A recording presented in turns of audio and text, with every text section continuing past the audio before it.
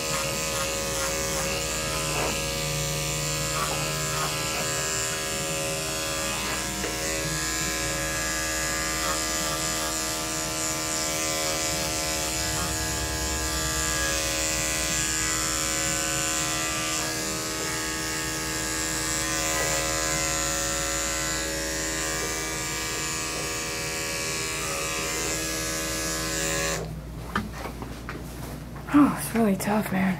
Really tough. Get that area.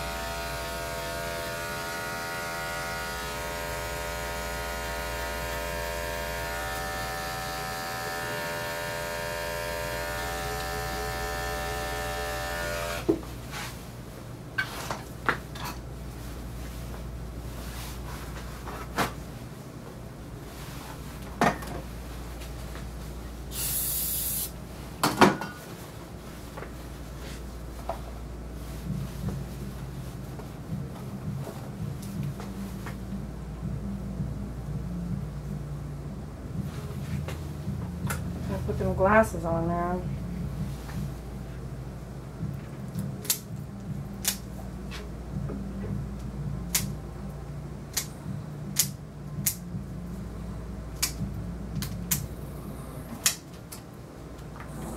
Ooh.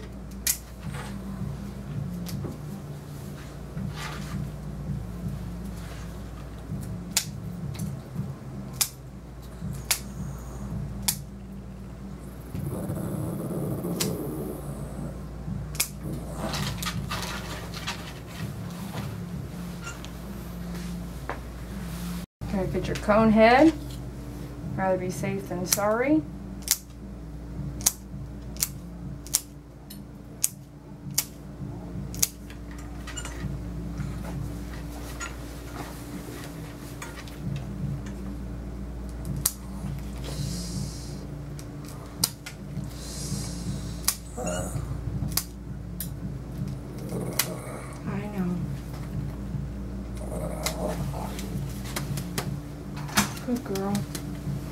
All right, we're gonna we're gonna leave it at that. We're gonna go in here and do our anal glands.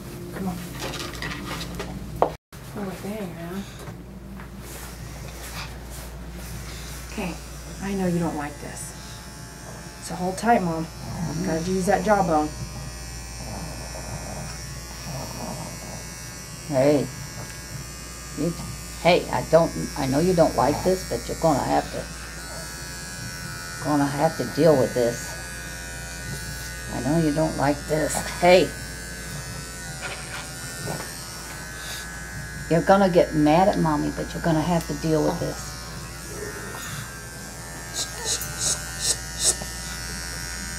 You're No, no. You've been having a bad day today, girl. you are just determined. Oh, you're biting your mommy today.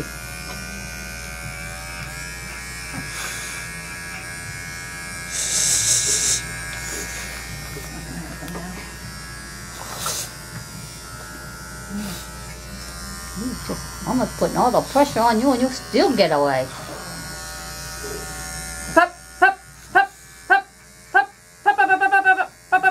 Think about something else.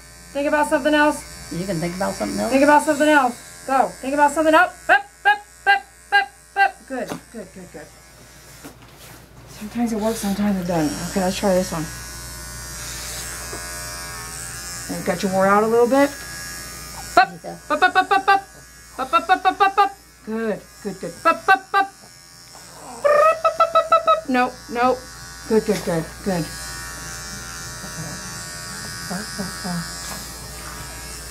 You're so good, so.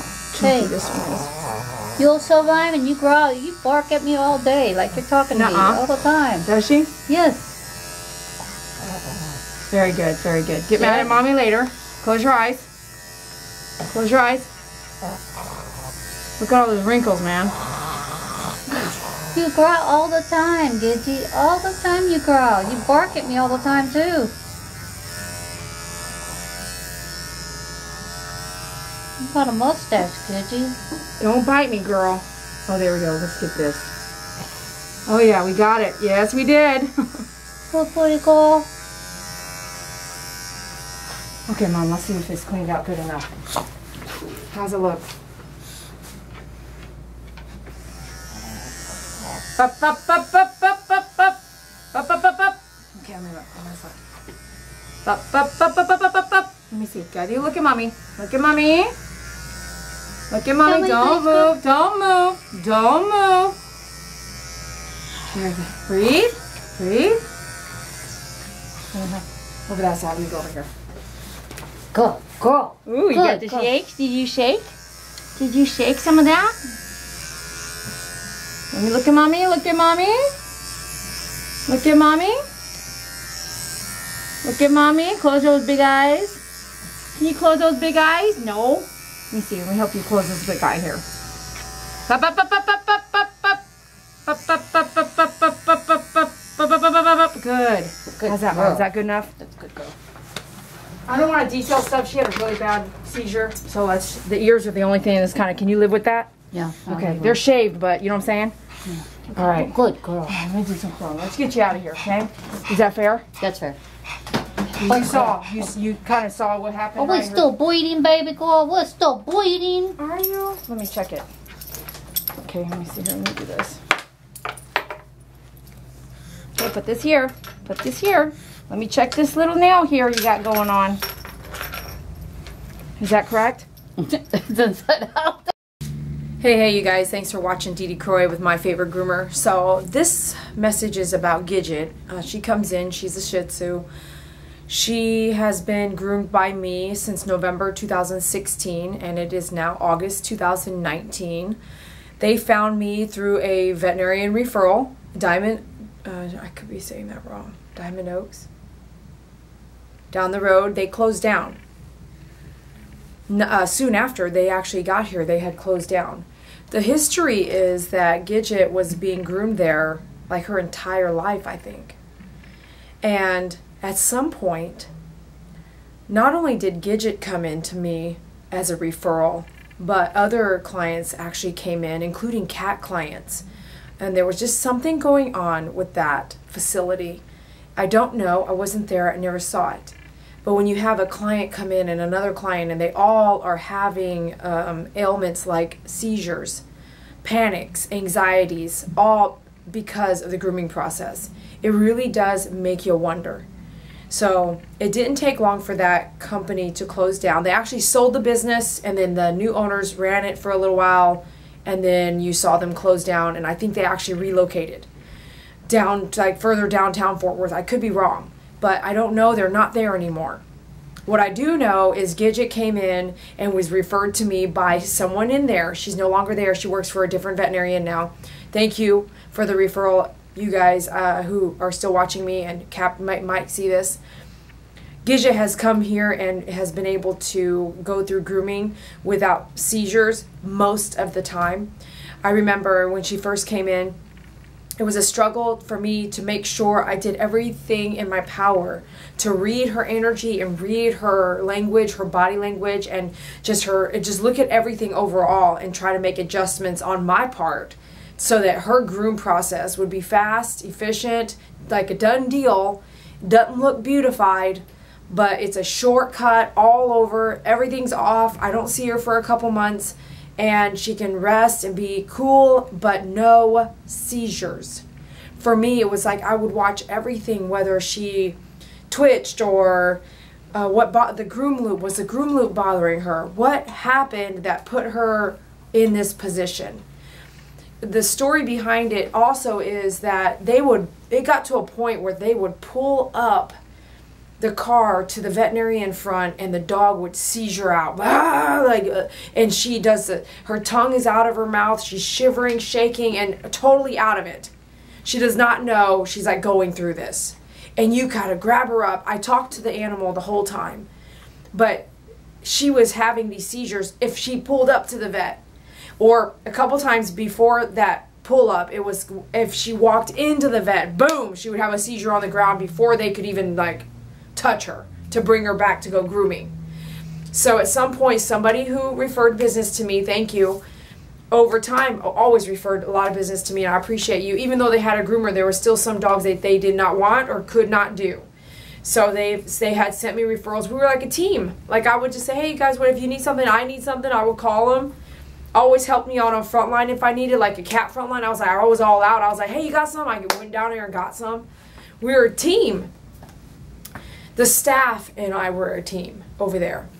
And because we're so close, I mean, almost walking distance. Uh, they're not there anymore. And it's sad that and something was happening, you know. I've seen a lot of things and I envisioned a lot of things uh, how how people are running their businesses and how we all have our uh, frustrations and stuff. And sometimes, you know, when no one's watching, right? And even when people are watching but people that do that won't be able to do anything about it they're like in some of these corporate places that it's happening. I hear your stories. You're the one telling me your stories. I hear them.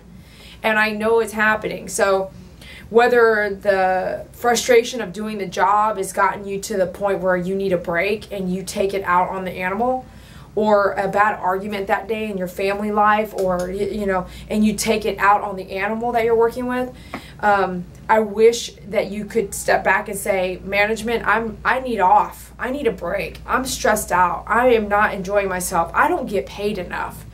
Whatever it is that you need to do so that you don't you know do things to the animal is really what i would just push you to do. Just I understand that sometimes we do things that, you know, we get overwhelmed. And me too. I'm not perfect. Uh, I don't try to reflect it on the animals if I get frustrated. I probably have am not perfect and I reflect it on David, say, the way I talk to him or how moody I am or right? Like it's probably your husband, your best friend, your sister, your mom, your dad. Someone is probably hearing the buck end of your frustration. And we're all not great people at doing it. Wish we could be more dog like, right?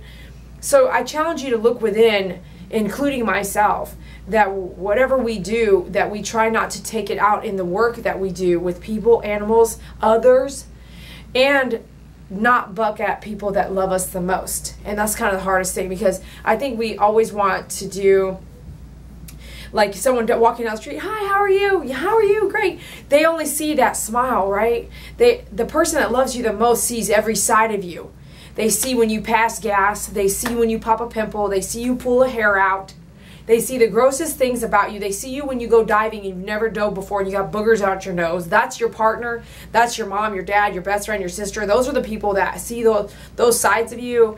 And those are the people that sometimes we take advantage of. And really, when we pop off or have a bad day, they're the ones that are getting that rebuttal, right? And I know I'm, I'm sounding like I'm off track. But what I mean is these animals that we groom, if you are in a position where you are overworked, frustrated, underpaid, and you feel that heaviness and it, it comes out in your work, don't take it out with people that you love and don't take it out with the animal that we're grooming. Take it out at the gym. Take it out on a run. Take it out by saying, I'm, I need a time out. I need to get out of here and I'm not coming back until I feel good.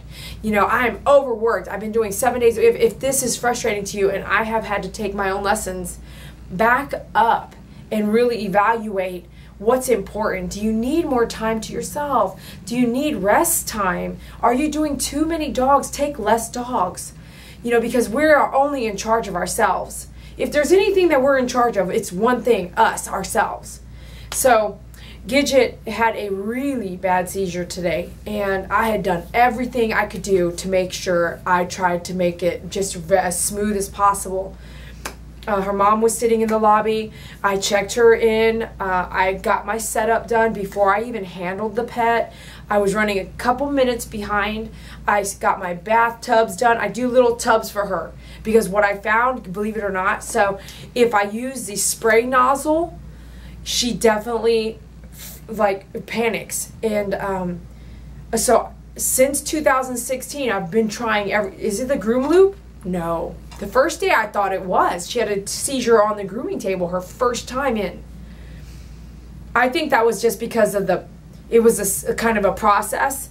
And then never did she have a seizure on the table again, ever after that. Now, uh, the second groom, she had a seizure. We're, we're talking, you know, since 16, 17, 18, 19. We're going almost three years. So I have had lots of lots of time with her to be, be, able to look at what she reacts to. So never again has she had a seizure on the table ever after the day one ever.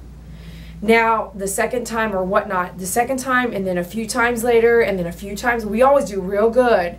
It takes three to five times with no seizures. It's so cool. When she was having a seizure, every time they pulled up at that veterinarian office, and she got her dog groomed at the veterinarian office, right?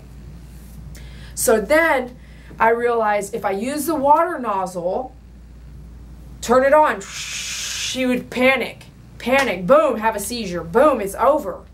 You have a seizure, you for me, you talk through the seizure the whole time, just talk.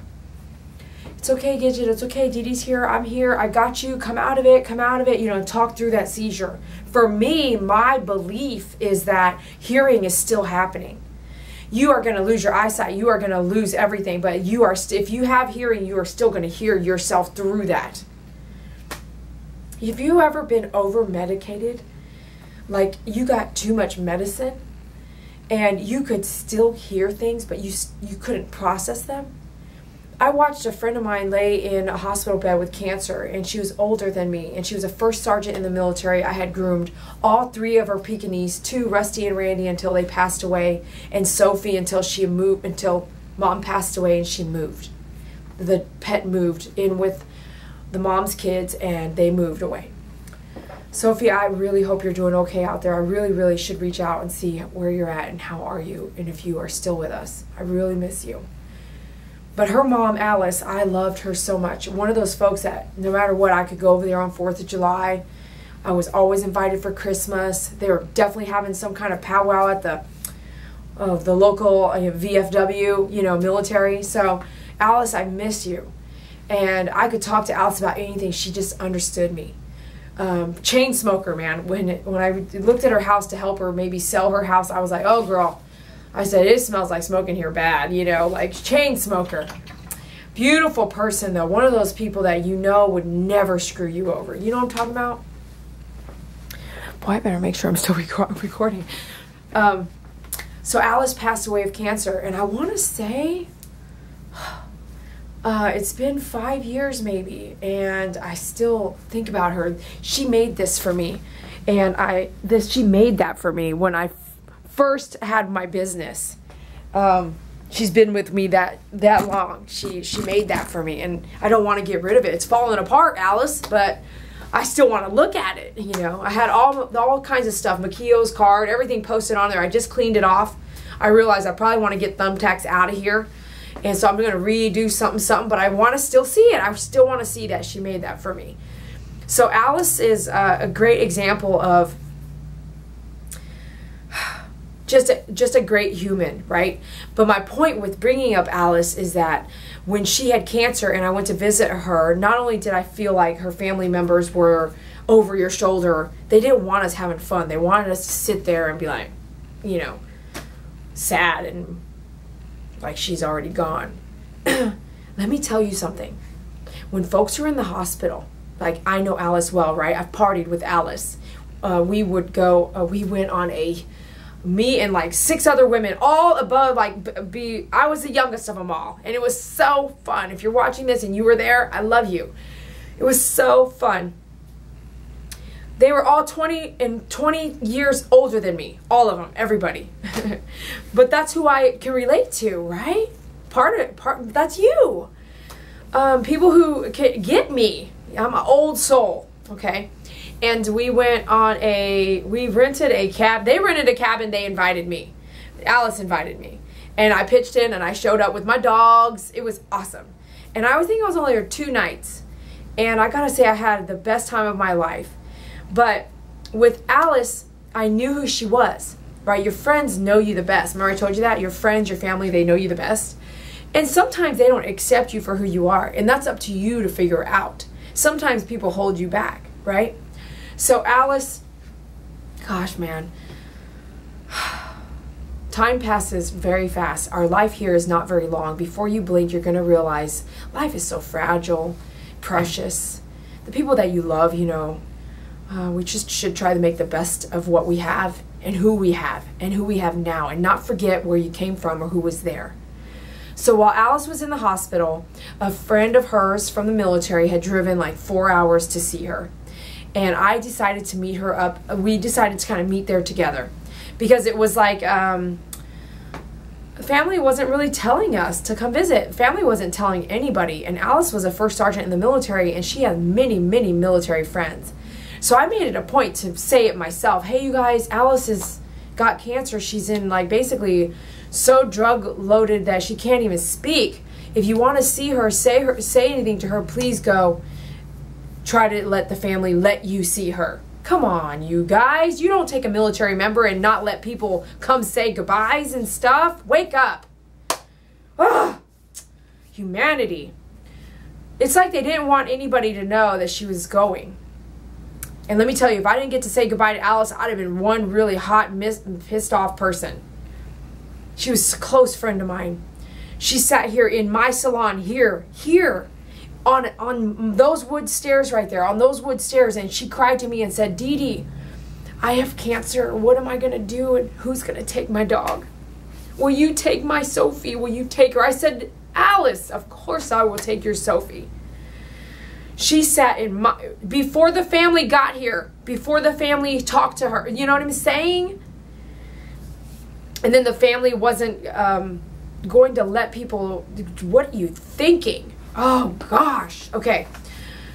So we visited Alice and we could feel like they kept coming, you know, like when you go to a store and they're watching you over your shoulder, like, what are you doing? There's nothing we could possibly be doing. Alice can't even move. She's so drugged up. I was like, oh, heck no.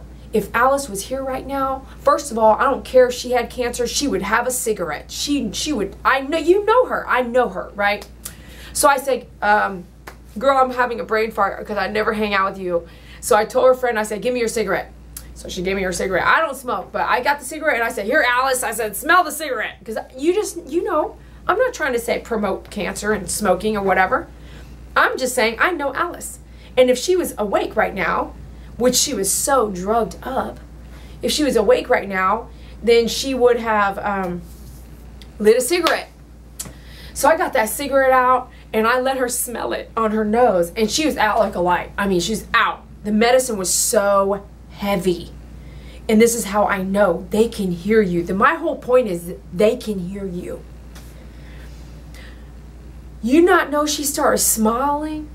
Oh, it was so beautiful. And she started smiling and she chuckled in her uh, coma, uh, coma state. And I looked at her friend and I said, I told you she's she knows we are here. We she is laughing with me. She's laughing at me and laughing with us right now, like laughing. And I said, I know you would smoke this girl. I let her smell the cigarette. And I said, I'm gonna leave it right there on your lip, you know. And um, we got to talking more and I and I said, Girl, we are not going out like this. And she was laid up, she was laid up, just laying there flat, no facials, like gone. Just so heavily drugged up because this cancer had taken hold of her body. And I lifted, I got her arms. I know you guys think I'm an idiot, but let me tell you, please do this if I'm in my deathbed, okay? Drugged up that I cannot even move. You know how you're laying there and you cannot move and um, you wish you could, but you could, you can't. You can't even tell your arm to move it, it is. I know somebody out there knows what I'm talking about. I know you can relate because the meds are so strong. Some meds are so strong, you're like, can you help me? But I can't really talk either. And I also listened to a a gentleman tell his story, and that was the exact story too. His wife had been hit by a car. He was in the hospital with her. She was in coma. Do you not know when she came out of coma, she told him she heard everything he said to her? Those months and months that she was in coma, she knew everything he. She came out of it. She heard it all.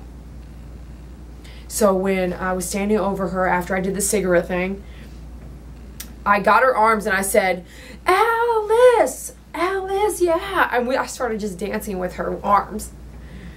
And I tell you what, we started laughing. It would be the last time I got to see her smile and laugh, and she couldn't even open her eyes, but she mustered up that laugh. I had her arms. I said, Girl, we're dancing. Yeah, girl.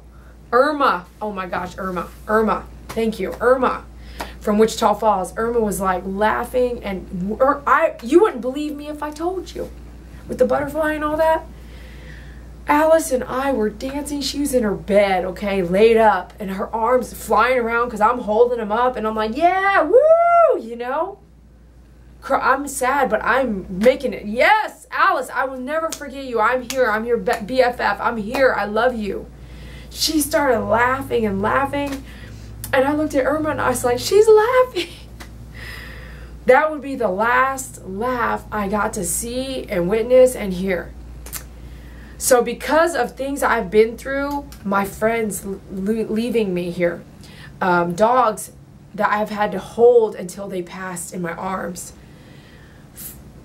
documentaries that I have heard um, people go through, I can tell you right now, I would tell you that the hearing is going to go last.